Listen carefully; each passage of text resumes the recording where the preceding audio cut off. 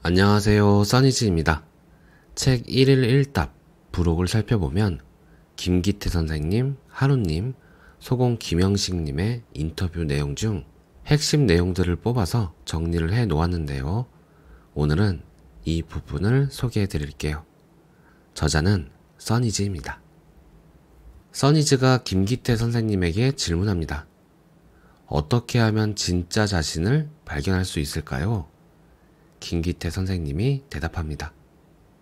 그 길은 이 삶 전체입니다.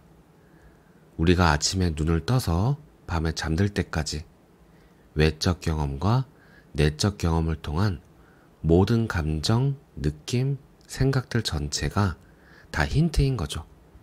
그렇기 때문에 우울하면 우울해 하세요. 슬프면 슬퍼하세요. 미우면 미워하세요. 거기에 힌트가 있어요. 그런데 많은 사람들이 즐겁고 기쁘고 자유롭고 행복한 감정은 취하려 하고 어둡고 힘들고 우울하고 불안한 감정은 버리려고 해요. 이렇게 하면 인생을 둘로 쪼개는 겁니다. 어떤 것도 지속되지 않아요. 사라질 때 잡으려 하지 말고 오려고 할 때 막지 마세요. 이 모든 경험들은 왔다가 사라집니다. 불안하고 우울하고 힘들고 괴롭고 무기력한 이것이 더 적극적으로 나를 부르는 몸짓이에요. 우리 안에서 올라오는 모든 것들이 다 진리의 현현이에요. 그런데 이것을 일부러 받아들이려고 노력하면 힘들어집니다. 그러니 나를 힘들게 하는 어떤 감정이 찾아왔다면 그것을 피하거나 달아나거나 조작하고 바꾸고 고치려는 내 몸짓을 정지해 보세요. 그러면 그 무기력, 불안, 우울이 완전히 다른 것으로 바뀌게 됩니다.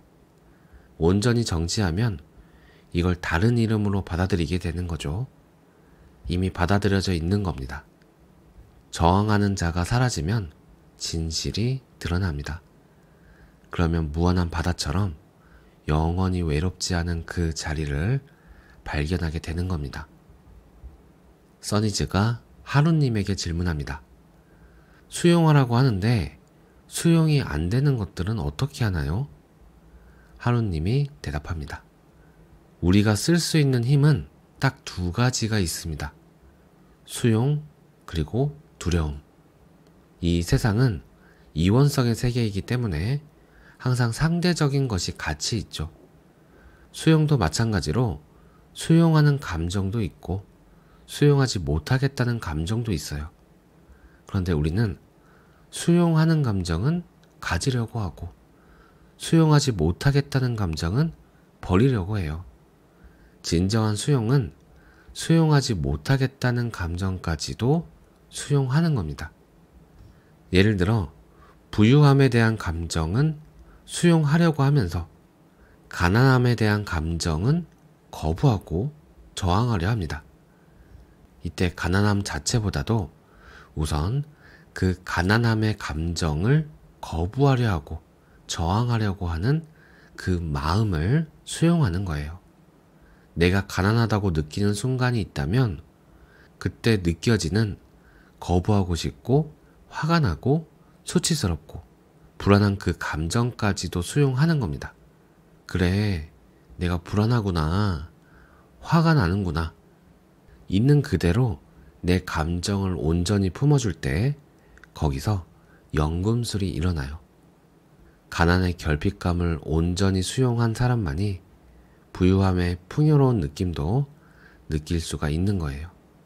결핍감은 느끼지 않으려고 저항하면서 난 풍요가 좋아. 풍요를 끌어당길래 이렇게 하면 수용이 아닌 집착이 되는 거죠. 써니즈가 소공 김영식 선생님께 질문합니다. 노력해서 편해지는 것과 자연스럽게 편해지는 것은 어떻게 다른가요? 소공 김영식 선생님이 대답합니다. 자기가 집중해서 편해지는 것과 릴렉스해서 편해지는 건 비슷하지만 다릅니다. 집중한다는 것은 거기에 조건이 달리는 거예요. 편해진 상태를 재현하려고 계속 노력하는 거죠. 자신이 노력해서 릴렉스 되었다고 생각할 수 있지만 사실 노력을 통해서는 절대 릴렉스 상태가 되지 않아요. 무언가를 하려고 하고 조작하려고 하고 잘하려고 하는 것들을 내려놓아야 릴렉스 상태가 됩니다. 물론 노력이나 어떤 장치를 만들어서 이해하고 쓰면서 편해진다면 그것도 좋아요. 하지만 그것을 붙들고 집착하면 긴장을 계속 일으키게 됩니다. 그런데 완전히 릴렉스 되었다고 눈이 풀려서 사는 것은 바람직하지 않습니다. 집중할 때 집중하고 일할 것들은 다 하고 그러면서 필요할 때마다 릴렉스 하는 거예요. 이것이 무의식화 된다면 내가 애쓰지 않아도 스트레스나 긴장 같은 것이 올 때면 동시에 그걸 내려놓는 힘이 저절로 생기게 됩니다. 하지만 내가 노력하지 않아도 될 때까지는 노력해야 하는 거죠. 오늘 내용은 여기까지입니다.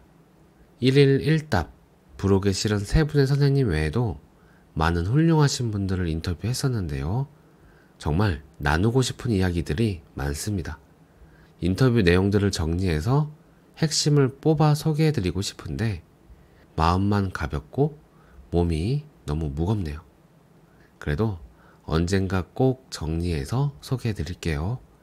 저는 여행의 묘미는 계획하지 않았던 상상하지 못했던 일들과의 조우라고 생각하는데요. 써니즈라는 이름으로 나를 찾아가는 이 여행에서는 이런 일들이 정말 자주 일어나는 것 같아요. 언젠가 이 여행도 멈추겠지만 아직은 좀 더 여행을 즐기고픈 마음입니다. 여러분은 어떠신가요? 고통에서 벗어나고 싶으신가요? 고통마저 즐기고 싶으신가요?